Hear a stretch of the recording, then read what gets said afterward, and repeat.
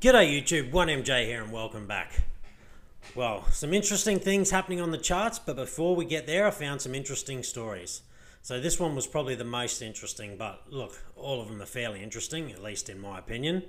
All right, no debate that Bitcoin will increase 20x, says Gold Industry Insider. Dan Tapiero told Anthony Pompliano that 15 trillion in institutional capital could flow into Bitcoin, pushing prices as high as half a million dollars. Now, slow your roll, hold your horses. It's not going to happen tomorrow. It's in the next sort of five years uh, that Dan Tapiero is thinking about. So, Gold Bullion International co founder Dan Tapiero believes that it's only a matter of time before Bitcoin's price surges into the six figure threshold. Speaking to Anthony Pompliano on the Pompcast, Tapiero asserted that in terms of price appreciation, Bitcoin is the king, even though he believes investors should own both gold and Bitcoin. And I tend to agree. I've, I've got both, but I would be putting more money into Bitcoin. But that's my personal opinion, not financial advice. Please don't take it that way. In the next five years, I can see gold at $4,000. So that's double. But if gold is at $4,000, Bitcoin is probably somewhere between 300 and 500,000. So that's a 20 to 30x. That is a lot. And look, over the next five years, I definitely think that's possible. There are people talking about it could happen this cycle.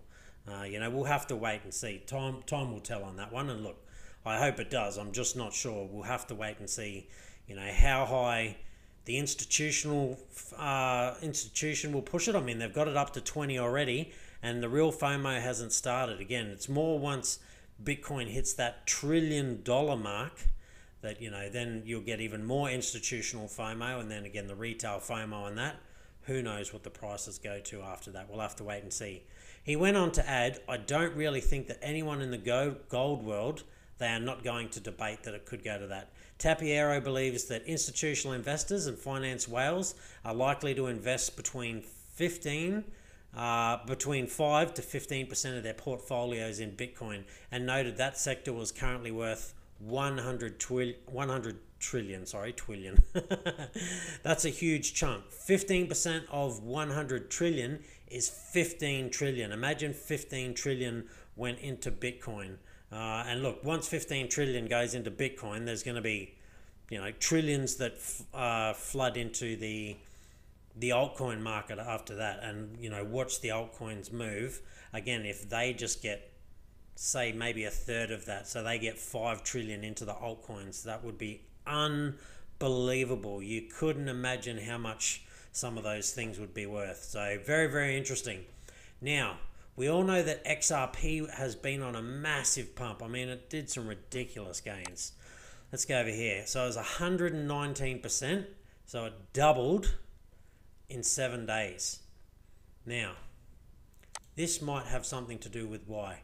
If you haven't heard, there's a Spark token coming in. It's an airdrop to anyone who holds uh, XRP and they've uh, you know put in their claim for it. Uh, I don't have any links to any videos that uh, do it, but just do Spark token uh, and have a look. Uh, and I highly recommend Digital Asset News, his one. that's where I did mine I went off his video, so I highly recommend that and his channel. It's a great channel. Uh, I watch it regularly. So XRP, you know, climbed 123%. I think a lot of it's got to do with the Spark token. People want free crypto.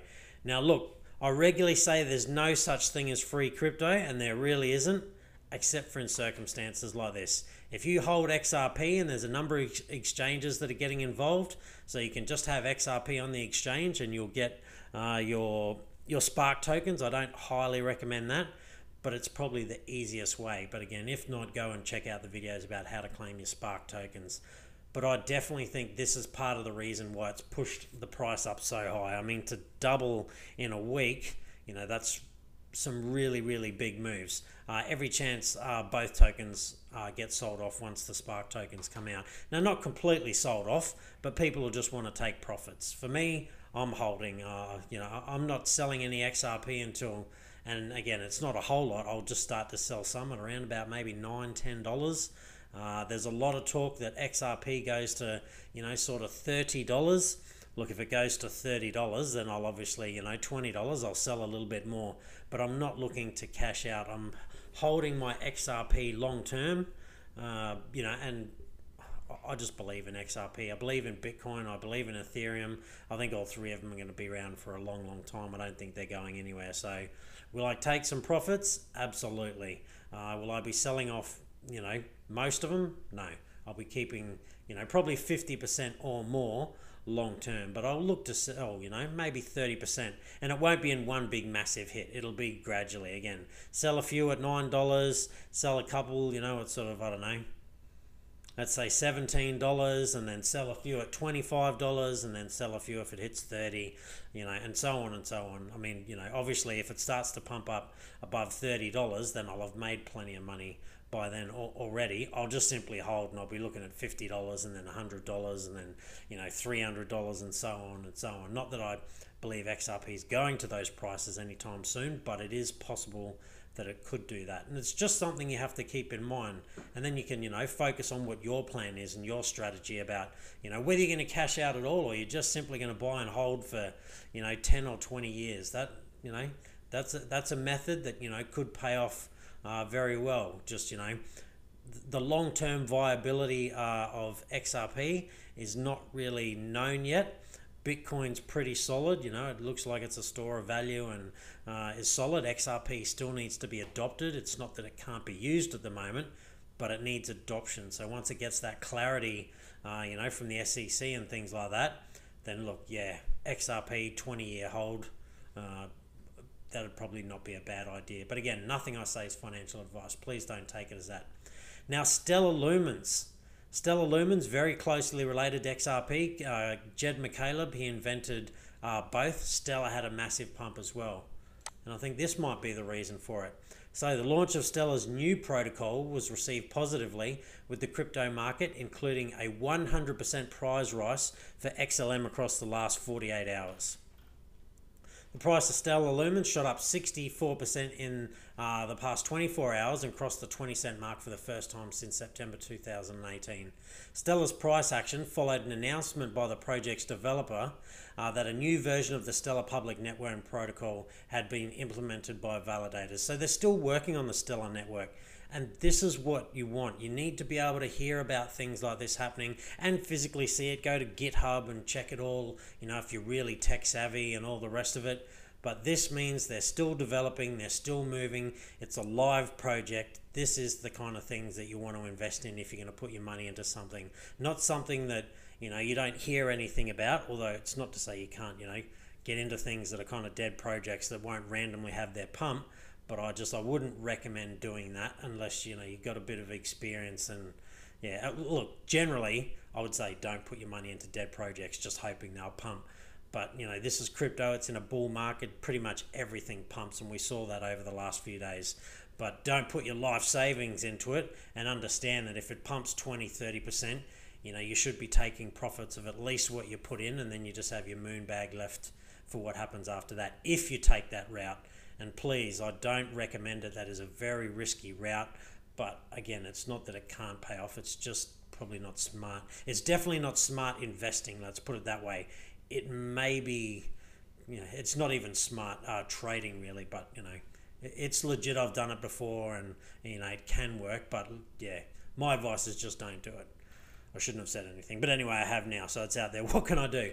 All right, so something really interesting though is in October, Stellar announced that the stablecoin USDC would be hosted on its blockchain at some point uh, in 2021. So next year, USDC is going to be available on Stellar. So again, it used to be just on uh, Ethereum. Ethereum's network was getting so banked up and it was mainly by the stablecoins, USDC, USDT, and all the rest of it. So uh, Stellar's coming. I'm pretty sure Algorand, uh, USDC is on Algorand as well. So there's some great projects out there. If you just get out there and do your research, you know, Twitter is, you know, be careful with Twitter. There's a lot of scams there and, you know, a lot of sort of, I wouldn't say fake news, but a lot of hypey news.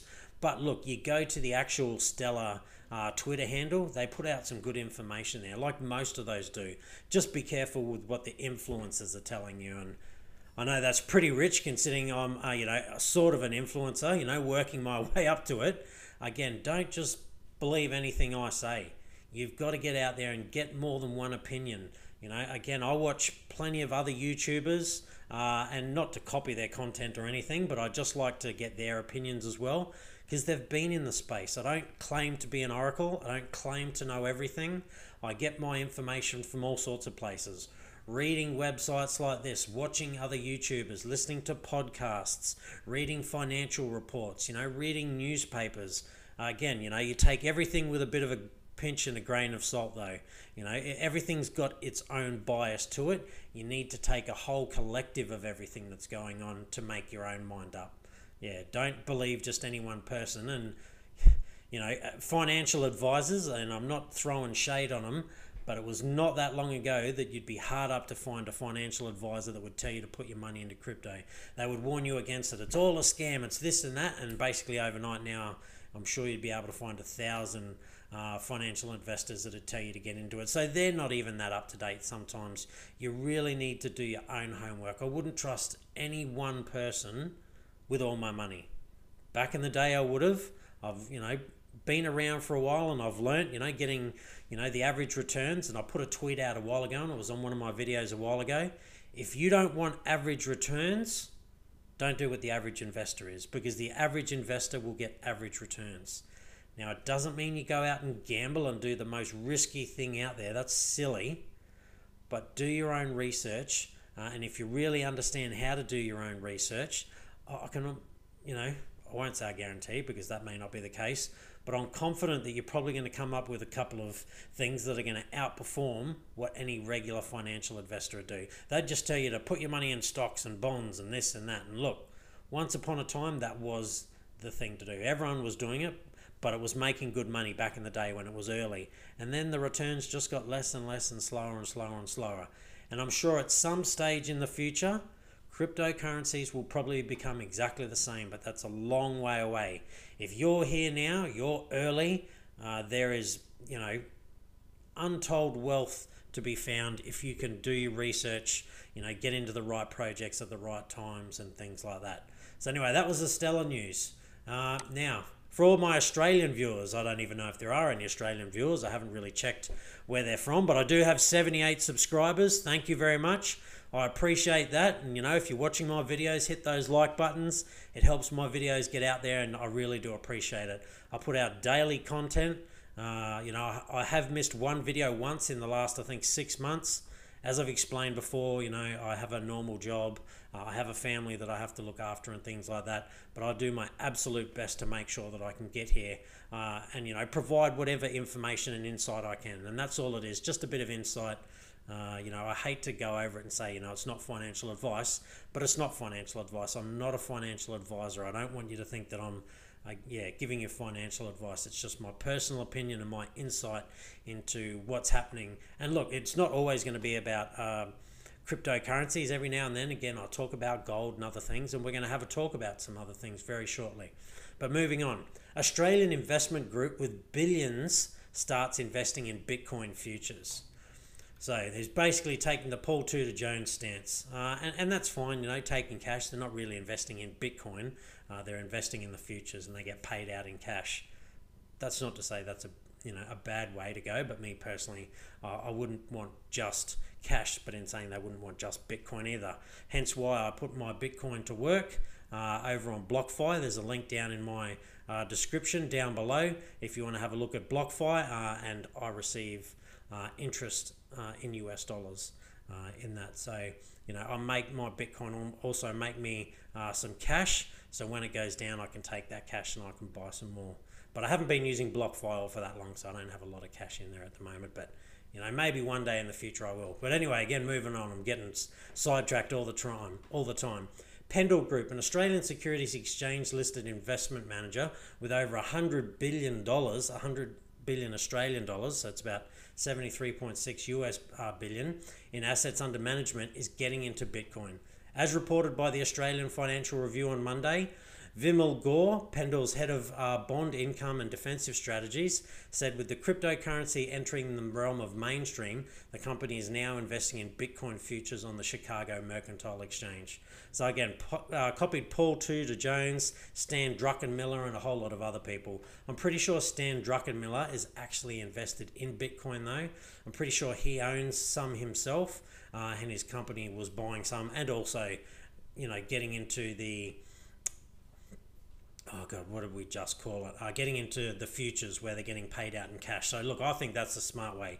You want both coming in. You know, you want to have the actual hard asset itself, and then you want to be making the cash from it as well. So when there are retracements, and look, at some stage they will come, you can use that cash to buy in, uh, and you know, buy other things as well. Uh, you know, that's just you know what I think anyway. Uh, you know, one MJ's personal opinion. I'm sure you know that's what some of you are here for. So that's kind of the news at the moment, but let's go over to CoinGecko. Now we'll refresh. Look, there has been a pullback. This was crazy. And over the last 24 hours, you know, since yesterday, things are slowed down a bit. That's to be expected. And look, it is possible that now Bitcoin starts to pump again and these really get drained. But the thing is, when these have their pumps, not all the time, but most of the time, and for most of the good coins, you know, all this money gets pumped into them and they get pumped up and then people will take out, you know, half to three quarters of the profits they've made.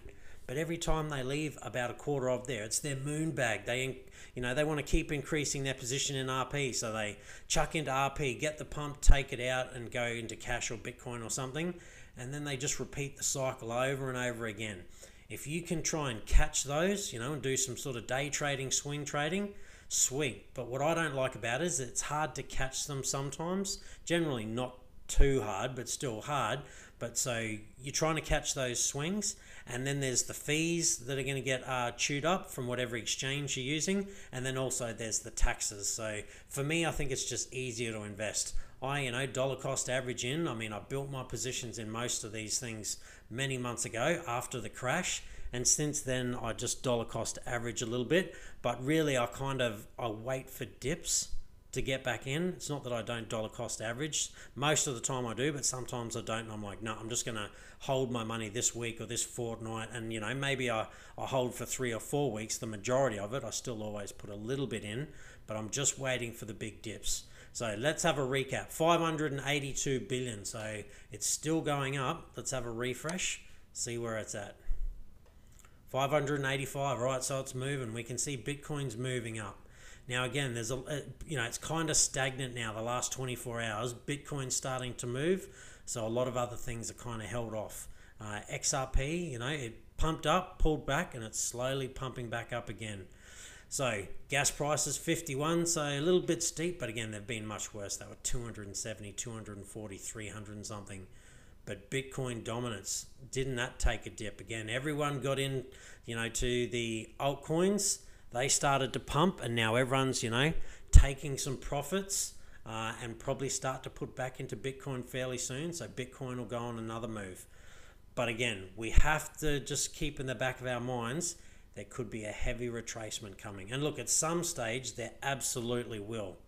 It's just hard to know when it's going to happen. And I think it's going to happen between twenty-five and thirty-five thousand dollar Bitcoin.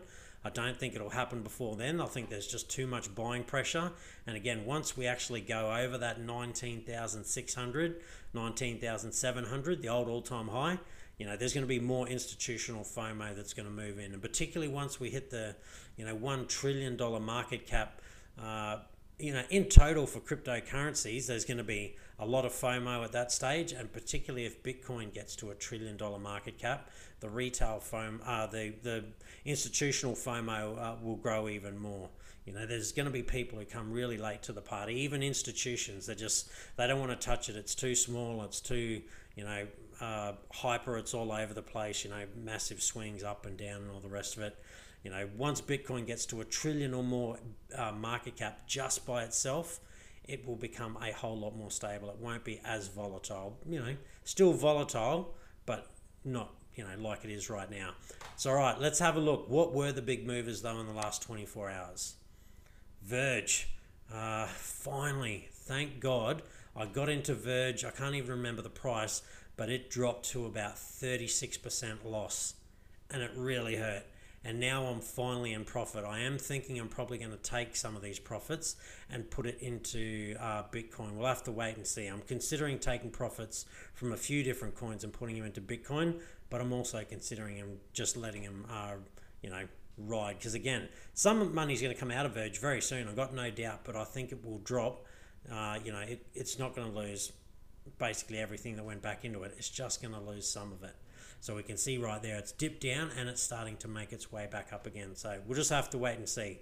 But look, double digits, there was still some really good moves. Stellar again, still moving and still moving now. Zilliqa doing well. NEM, Horizen, Nano, look, tons of good movers. Uh, VeChain, again, well done. Uh, Enjin Coin, thank God, that really hurt. I think I'm still a little bit in the minus uh, with Enjin Coin at the moment, but I haven't checked. Kyber Network, uh, loving Kyber Network.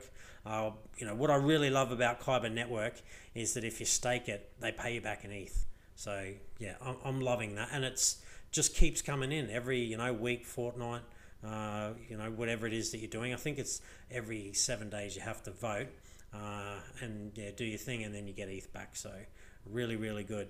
Now, what about losses? It'd be hard to think there'd be some big losses, but I'm going to say there quite possibly is. Ah, actually, I'm wrong. There's not really too many big losses at all. Now, uh, Synthetix Networks really been uh, stuck around this $5 level. I think they're going to get a big, massive pump at some stage. Aave's been coming down for a long time, uh, but again, it pumped really hard. So we'll have to wait and see if it's found its bottom yet. And again, Synthetix Networks has been around $5 for a very long time. Uh, and it didn't pump too much in this run. Don't get me wrong, it did pump a little bit, but not like some of the other coins. But again, it pumped a little bit early, so then the profits were kind of taken back. We'll have to wait and see.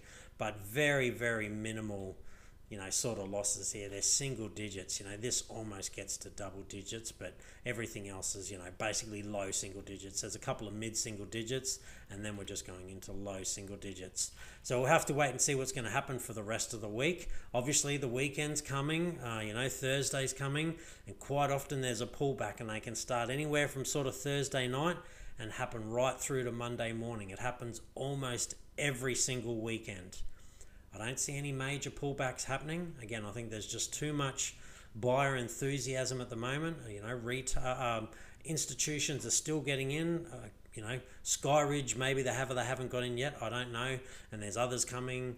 Uh, yeah, I don't see any major pullbacks happening, but it is possible. So let's not just think that it's not going to happen. Now, let's go have a look at Bitcoin. As we can see, has got on a bit of move and it's just flirting with its all-time high. Again, I've got its all-time high at about 19,600. I think it actually is about 19,640, something like that. So it's very close. We're just tipping on the edge here. So we're waiting to see whether it's going to push over or maybe we do get that hard rejection. You know, time will tell. But what I want to do is scale out a bit and have a look at this chart. A lot of people have been saying uh, Bitcoin has broken away from stocks. That's a very interesting thought. I'm not sure that it actually has. Now, don't get me wrong, the chart I'm going to show you in a minute, it's not exactly the same, but it's very similar. We can see here, COVID happened, we had this big, pull, you know, sell off, and then since there, we've just been on a, you know, quite a move. So remember this chart, and now let's have a look at this chart. This is the Dow Jones. Look at that. Fell off the cliff and then started to make its move back up. And it even has a bit of a Bart Simpson sort of uh, pattern here. Uh, a lot like Bitcoin. Bart Simpson. We had this move up, travel sideways. Bart Simpson had this move up, traveled sideways a little bit. Bart Simpson sort of thing. And then it's just started to push up there. So, you know, we're maybe not exactly the same as all stocks but we're still fairly similar, you know, to the Dow Jones, and the Dow Jones has reached new all-time highs. So we just need to be careful. I mean, I mean, it sounds like there's more stimulus coming, which is great. So it'll push this higher, but we are still fairly correlated. We haven't really broken away as much as what people would like to think. So you know, buyer beware is what I'm saying. I'm not saying it's going to crash or anything like that, but we are still fairly in line with this. So if you know Dow Jones and stocks and all the rest of it take a big hit, uh, still very possible we do as well. Now gold, Gold is interesting. So it pushed up and it's just slowly been coming down. But what we can see is it's finding uh, a bit of support here at old sort of resistance. So as we can see, uh, it's a little bit above this. And is this going to go back far enough? Hopefully it will. Yep, there we go. So it's you know it's, there's a bit of confluence sort of around here. It's been here before and it's been both support and resistance. And then we come over here. Uh, here it was resistance. Now we're just hoping to see if it's support because it dipped down. And now we're just waiting to see if it's going to bounce and come back. Because look, there is a lot of people taking money out of gold at the moment uh, and moving into Bitcoin, but not everyone. Not all people in gold believe in Bitcoin. There's a lot of people that don't, and they just think, you know, it's garbage and they're never going to get into it. So gold isn't going to just simply fall off a cliff. Uh, but, you know, it is possible maybe we come back down and test these kind of levels here. You know, unlikely, but who knows? You know, time will tell. All right. Um, what was the other one? Yes, XRP. So here we go. Look at the move that it had it absolutely rocketed up and now we're just waiting to see is it going to come back here? There's a little bit of confluence here. So again it really uh, this become a bit of resistance a bit of support uh, support and resistance along here. And now we just got to come into here and have a look. We can see it's wicked down to here and then push back up. So are we you know is, are we going to travel sideways here for a bit before we next make the next big move up? Because that's generally what it does when it makes these big moves. And if we come back here, we can see pumps up, comes back down, tests, pumps up, comes back down, tests a little bit, and then pumps way up. And then it comes back down to basically test this line again. Uh, and it's done this a number of times. Now, this time it didn't come back down to test this until way over here. It took a long time for it to come back down and test this but we're waiting to see if history repeats itself with XRP. Now let's have a look at Ethereum. Ethereum is very interesting. So again, this is against BTC and so was that XRP. It was against BTC. We had this massive pump pulled back and it just seems to be finding support off here. Now we're still pulling back. Of course we were going to. Some of that profit is being taken and being put into BTC and also in cash and you know who knows what else other small caps but we're waiting to see whether this will hold because we've been here before as we can see over here and over here and then if this one doesn't hold will this one hold and then if that doesn't hold are we going to come back to here and find some support uh, uh you know it, it's hard to know if bitcoin gets on a roll then it's quite possible we really do break down into here. But you know, no one knows. It's very hard to, uh, you know, predict. All you can do is just take a bit of a guess. And I'm thinking it's going to hold from here, and I think it's going to start to move higher. But look, it is possible. And again, this is not against the dollar, so it's not losing against the dollar. It's just losing against Bitcoin. When it's red, it's being outperformed by Bitcoin, and when it's green, it's outperforming Bitcoin. That's how these charts work when they're go going against BTC. All right, that's it from me. It's getting late here, so stay safe, be kind to one another please hit that like button down below and that subscribe button. I pull out, I put out daily uh, information. Hopefully, you're on that gain train, and I'll see you next time.